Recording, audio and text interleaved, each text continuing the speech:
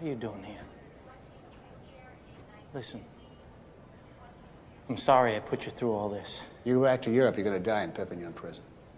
Try to run here in the States, we'll send you back to Atlanta for 50 years. I know that.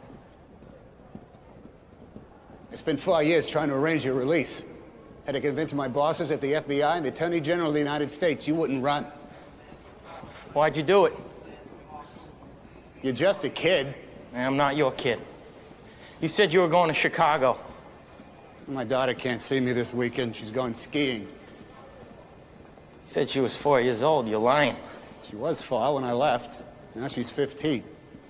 My wife's been remarried for 11 years. I see Grace every now and again. I don't understand. Sure you do. Sometimes it's easier living the lie. I'm gonna let you fly tonight, Frank. I'm not even gonna try to stop you. Because I know you'll be back on Monday. Yeah. How do you know I'll come back? Look. Frank, nobody's chasing you.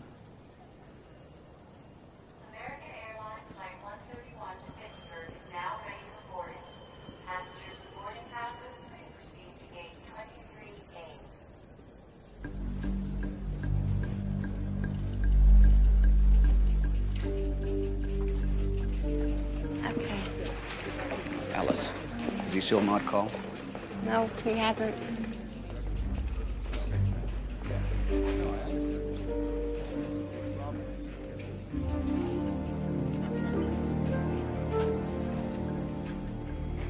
Good morning. I've uh, called this meeting to discuss a new type of check fraud and counterfeiting, in which the unsub is washing and altering checks, then passing them throughout Arizona. This unsub is a big dog, passing checks as large as five figures. Sorry I'm late.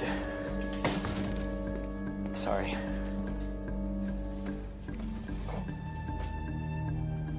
We have a recovered check on Agent Rader's desk when we step out to the bullpen.